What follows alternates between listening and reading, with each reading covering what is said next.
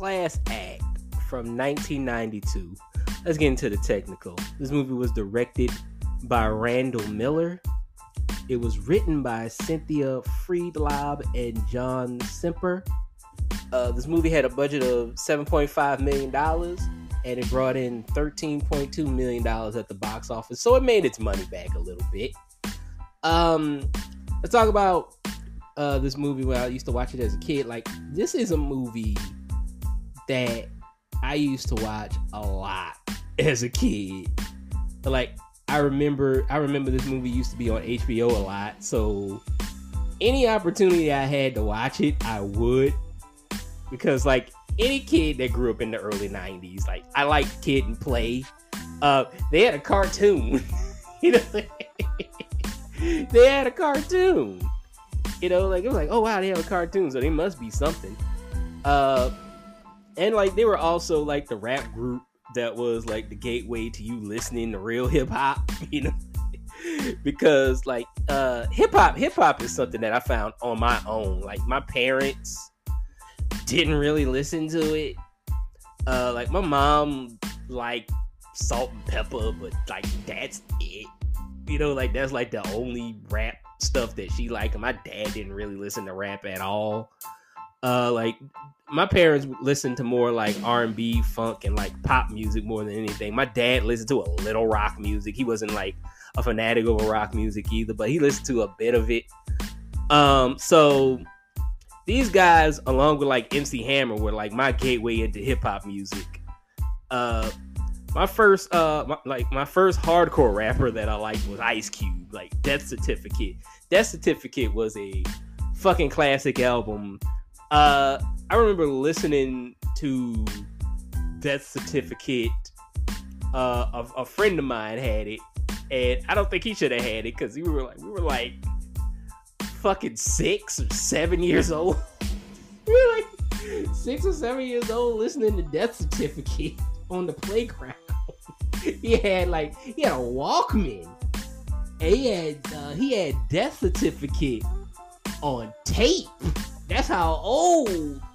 That's how old I am. I was listening to Death Certificate on tape. it was like, it like that's how old I am.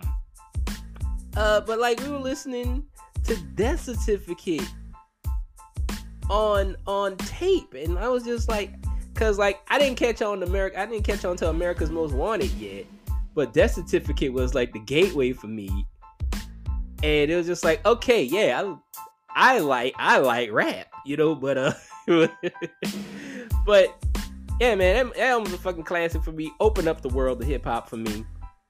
Uh, but anyways, let's talk about this movie. Let's see how I like this movie as an adult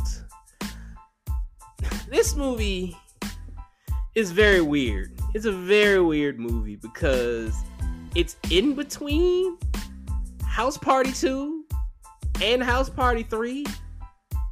And that always confused me. I'm not sure if that confused a lot of other people, but that always confused me because as a kid, I thought this was a house party movie. I'm not gonna lie. I'm like fucking seven years old. What the fuck do I know, right?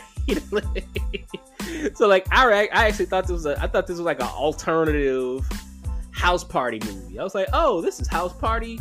This is house party like two and a half or whatever the fuck. But um, nah, this is not a house party movie at all. And uh, once again, you got Kid and Play playing teenagers, and if you thought they were too old to be playing teenagers in House Party, they are way too old to be playing teenagers here because here they're in their fucking early 30s. You know? they're in their early 30s in this movie. But the plot of this movie is uh, loosely based on the Prince and the Pauper, which is like an old uh, story. Uh, Chris Kid Reid uh, plays Dun- Duncan Pinderhughes, a super genius who is trying to get into a prestigious college. And uh, Chris Play Martin plays Michael Blade Brown, a juvenile delinquent who is who has to graduate from high school in order to stay out of jail. uh the first like the first time we see Blade Brown on screen is actually pretty fucking hilarious to me because they put this wig on him. You could tell it's a wig. Like there's a wig on him that makes him look like a black sideshow Bob, and I couldn't help but fucking laugh. I couldn't help but laugh because it looks so damn ridiculous. It looks so ridiculous. Uh, they quickly get rid of it though. Like, uh, they they shave his head because like I was looking at this, I was like, um, whenever you can, like look up, uh, class act, uh, Blade Brown hair. I don't know, like maybe that'll give you an image. It's like when you first see him, he's got like like I said, he's got like these this this this sideshow Bob type hair. It's it's fucking hilarious, bro. Um, we get eight minutes into the movie. Eight minutes. And I already see something that made me go, what the fuck? You know? so after we set up uh, Blade and Duncan's uh, story arc. We learn about these characters and what they what they what their goals are and stuff like that. The next scene of them is on the first day of school. Like they show the kids filing into the building, you know, like they just get rushed into the building. Uh, but there's two scenes that catch my eye early on in this movie, and they both have to do with the school secretary because in one scene you have a student blatantly grab her ass. Like he just grabs like a handful of her booty. And i have to say like she does have a very rotund backside. Like it's fat. It's fat fat. P-h-a-t fat. It's it's smackable. It's spankable. But uh anyway. But in that scene she looks annoyed by it and she even like vocalizes her annoyance with it. But right after that scene, in the next scene, she's looking at student files and getting horny about it. Like she even says, she even says, "Look at this fresh jail bait. Like she says it like that. She's like, "Ooh," and she starts like shivering. She's like, "Ooh," and I was like, what the fuck? I was like, what the like, what the what, what type of what type of movie is this?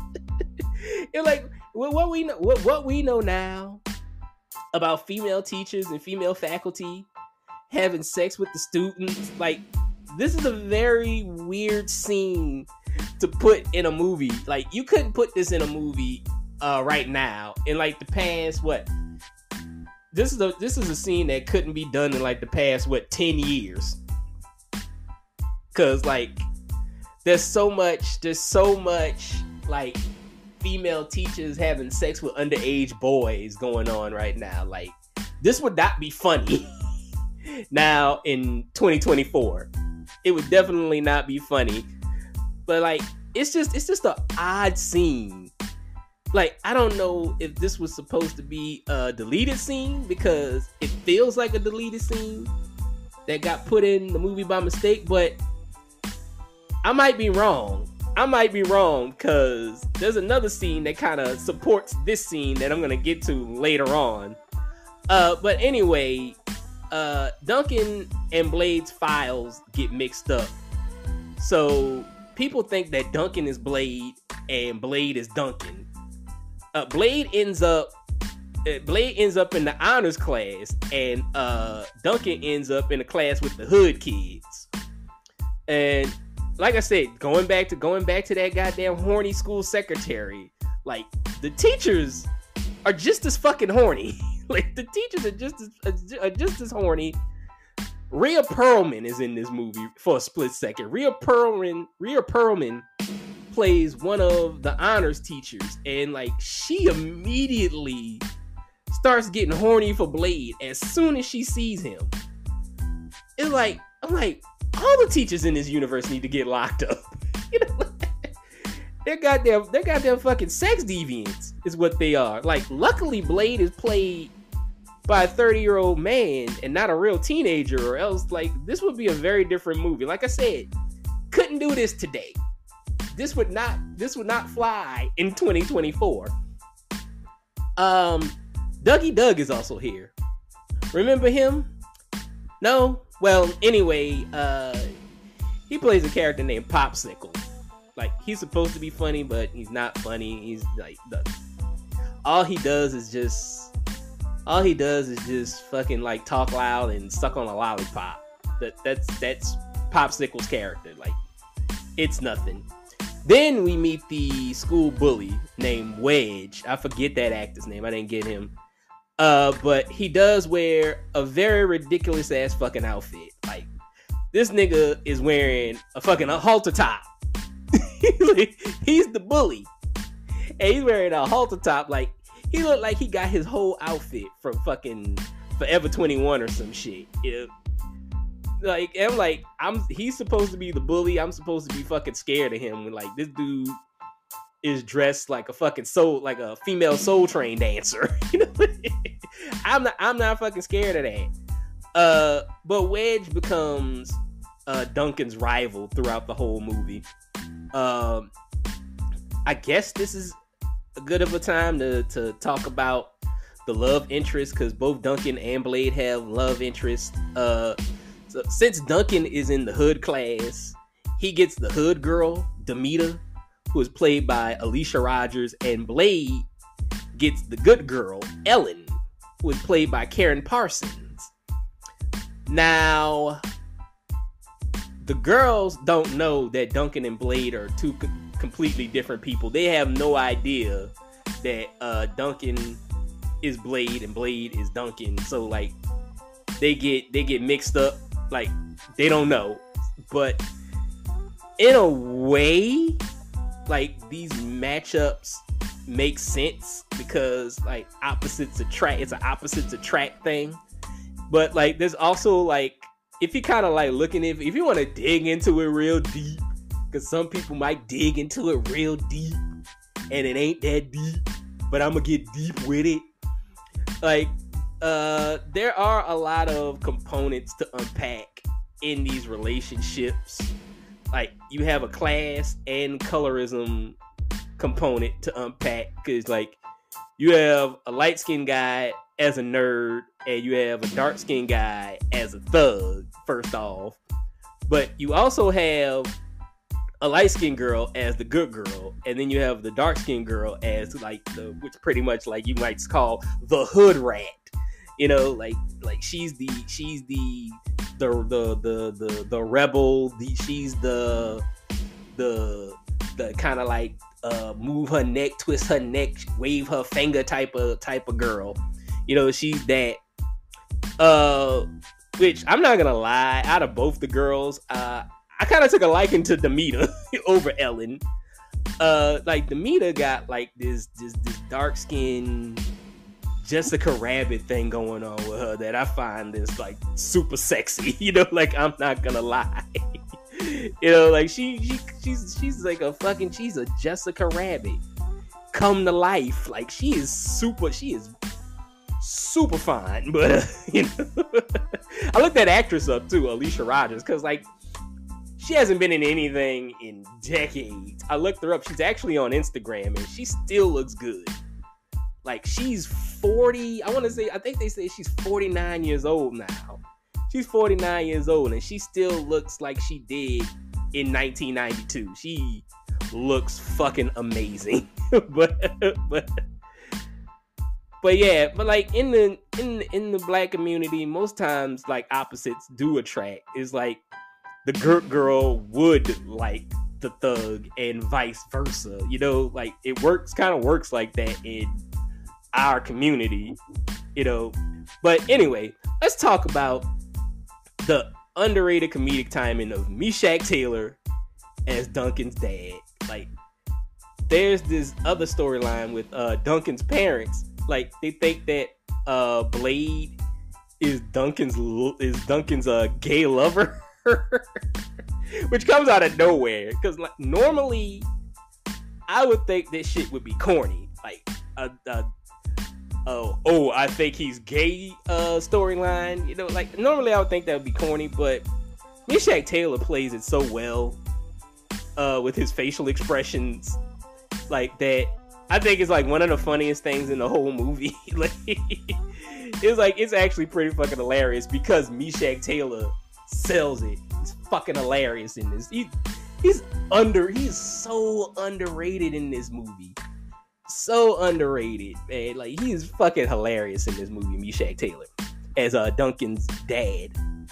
Uh, another thing about this movie, like this movie tends to switch up characters' ages at will for convenience of the story, because these underage teens sure do go to the club a lot. Like this, this movie can't make up its mind about the ages of these characters. They don't know whether they want them to be teenagers or not. It like they don't like it's just like make up your mind. Are they teenagers or are they adults? Make up your fucking mind. They should have like maybe like put these kids in like college or something. But I guess that would make sense because uh they could have been a community college. Like you could ex-cons can go to community college because Blade's supposed to be an ex-con, but like ex-cons can go to community college. You know, like you'd be like, oh, you got to graduate community college, or you going back to jail. You know, like it could have been college, but also, um, everyone's favorite movie mom is here, uh, Loretta Devine. She's uh, well, playing Blade's mom. Uh, she's she's a bit younger here, like young young Loretta Devine, kind of fine though. You know, like she she she kind of fine. I was like, I was kind of looking at young Loretta. I was like, damn, like you you looking kind of good. you know, like I don't know how she got typecast as a movie mom, but like she she does a good job at it. Like every time they cast her as a mom, she she she knocks it out of the park. You know, even though like probably here she's like fucking 35, but you know, but she she she does a good job. Um for what it's worth, Wedge is also like a good foil for Duncan because he just spends like the whole movie getting his ass kicked. That's his whole purpose in this whole movie is to be a bully that gets fucked up. That's by these two guys that Blade hired. Like every time Wedge goes after Duncan, like these two guys show up and beat the fuck out of him every time. and they think and everybody thinks that Duncan did it. But it wasn't Duncan. It was those two guys. It's fuck it, it's pretty fucking hilarious. That's pretty fucking funny. Um Pauly Shore shows up out of nowhere because it's the early 90s and he's popular. Uh, there really is no reason for him to be here. Uh, out of nowhere, like this movie, like just gets a main villain. it's a drug dealer named Meek, who's played by Tommy Ford from Martin. Like, he, like he just comes out of nowhere. Like he literally comes out of nowhere uh, I guess Wedge. I guess Wedge sells drugs for him. Like, like I guess like that's why Wedge was there to, to sell drugs to the kids. And all of a sudden, like like Blade Brown comes around, like Duncan Pinderhughes as Blade Brown comes around and starts beating the fuck out of him, quote unquote. And so like uh, Mink is like, man, like you you and you imposing on my business, you know, like you you uh you fucking up my business by getting your ass kicked all the time. But yeah, it's like it's a it it's a dumb it's a dumb storyline right there. It's like where you get like this guy that just comes out of nowhere and he's a drug dealer. But anyway, uh Pauly Shore is fucking unbearable in this movie. Like I'm I'm I'm I'm seriously glad he's not famous anymore. Like I can't believe I used to like this motherfucker as a kid. You know, like, I look at him now as an adult. I'm like, this nigga corny. I was like, I can't believe I used to like this shit. I'm gonna have to start doing some Pauly Shore movies soon too. Like I'm dreading the fuck out of that. Uh, I already did one actually. I did Jury Duty. So, and that was a shitty movie. That was a f- fucking turd of a movie. Um, and of course, this wouldn't be a kid and play movie if they didn't rap. The song is kind of whack though. Like the song that they rap is is fucking garbage. It's, I don't like it.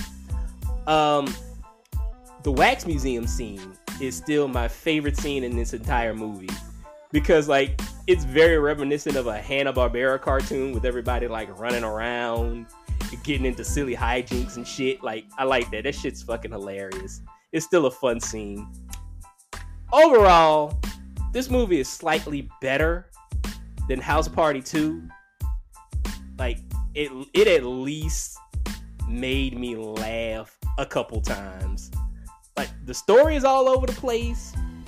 Uh, like they really can't make a decision on if these characters are teenagers or adults. It was like they can't make up their mind about that. Uh, Chris Kid Reid and Meshach Taylor are the MVPs of this movie. Like they're the only ones in this movie that really kind of commit to their characters. Um, Alysia Rogers does too. Karyn Parsons. Karyn Parsons is barely in this movie, but she she she commits. Play just doesn't give a fuck, and Dougie Doug is just terrible. Um, you know. but yeah, man. But like the two characters I did like, I did like Duncan Pender Hughes, and I did like his dad. Like they, those two characters were were kind of good. Uh, this movie does have a lot of bad ADR. Like this is the second movie in a row that I've watched that has had bad ADR. like Action Jackson from last week had a lot of fucking bad ADR in it too. Uh, like it felt like I was watching a badly edited BET movie. you know, you know how they cut out all the curse words in BET movies. That's what I felt like I was watching here. Uh, the only other thing worth looking at is like fine ass. You know, like that's it. Like other than that, you could probably skip this. Like if you wanted to. Like it's a it's a good movie to have on in the background and not pay attention to. That's what it is. Um. I give it a three out of five. Join me next week when I will be reviewing 1989's Harlem Nights. Until next time, peace.